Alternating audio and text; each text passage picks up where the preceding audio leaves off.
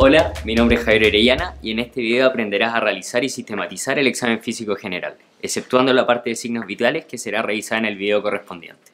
El examen físico es el acto realizado por el profesional de la salud utilizando solo sus sentidos o elementos sencillos como el fonendoscopio y que nos permite orientar a la causa del malestar de nuestro paciente. A grandes rasgos lo dividimos en un examen físico general y segmentario.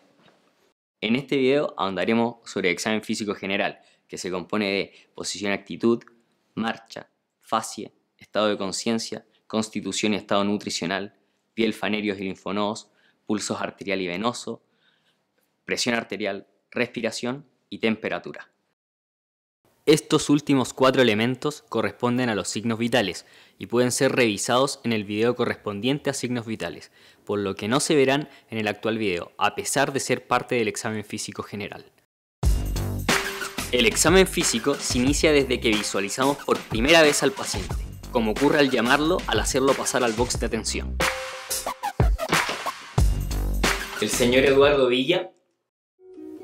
Solo con ver al paciente nos fijamos en su posición de pie o actitud.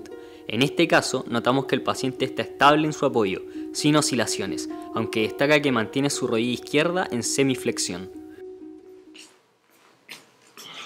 Hola, don Eduardo, ¿cómo está? Adelante, por favor.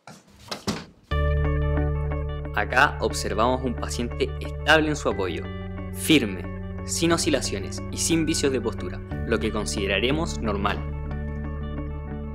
En el paciente hospitalizado debemos fijarnos en la posición tomada en la cama o el decúbito. Así tendremos posturas clásicas, como la ortopnea del insuficiente cardíaco o la posición genupectoral de los pacientes con pericarditis.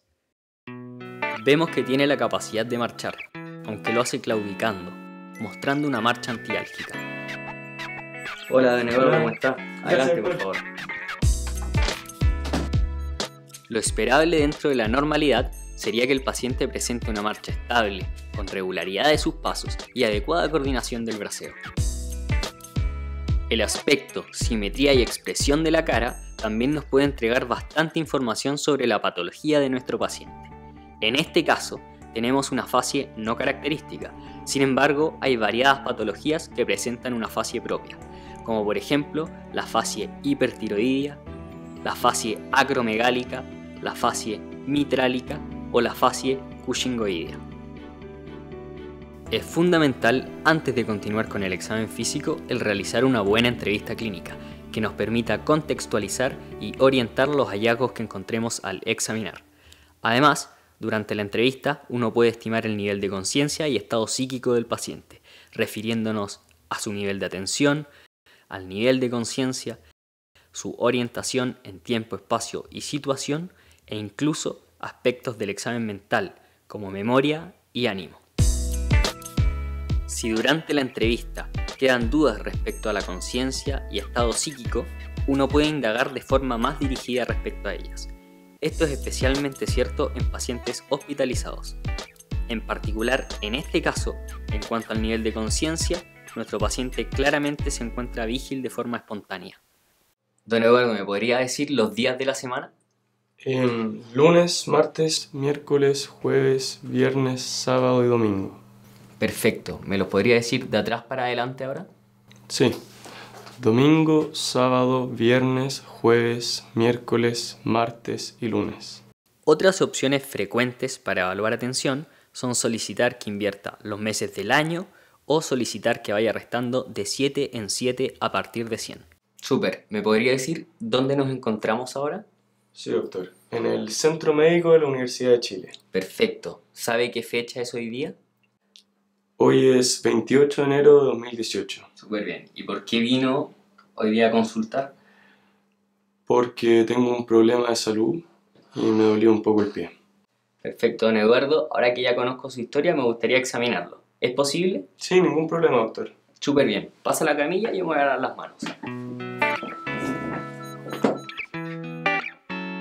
Recuerda siempre realizar la higiene de manos correspondiente antes y después del examen físico.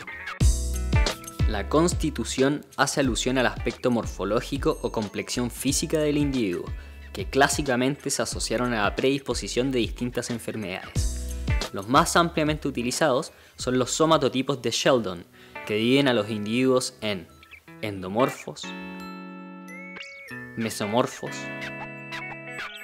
y ectomorfos. Don Eduardo, ahora lo voy a pesar y medir. Pase la pesa, por favor.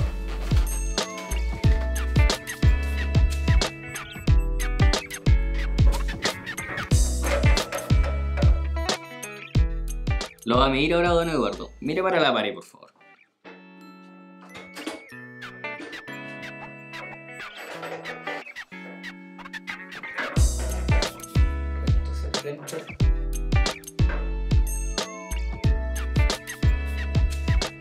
En la evaluación del estado nutricional debemos revisar y considerar más elementos, no solamente talla, peso e índice de masa corporal.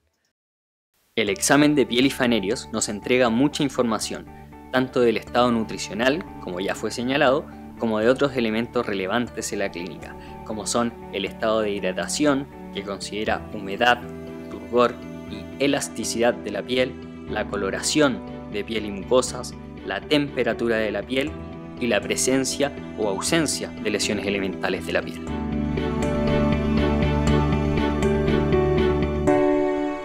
Otro segmento fundamental y que no debemos olvidar es el análisis de las uñas de nuestro paciente, ya que también son una fuente rica de información, desde déficits nutricionales, en los que se altera la forma de la uña, a alteraciones en la perfusión capilar, donde vemos que se lentece el llene capilar, o alteraciones en la oxigenación, en que cambia la coloración de nuestras uñas.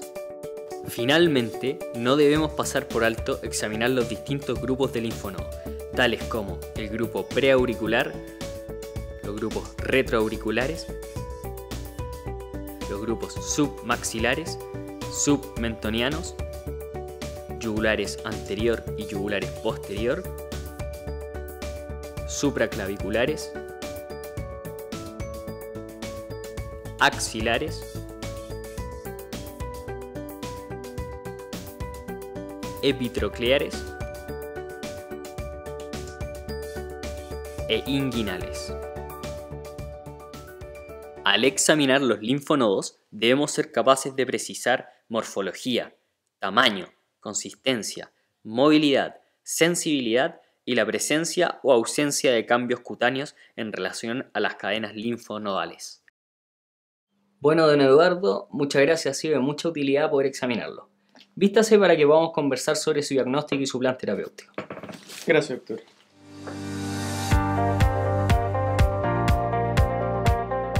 Recapitulando, tenemos que el examen físico general es una parte fundamental del acto médico. Esperamos que con este video hayas podido aprender a realizar y sistematizar tu examen físico general.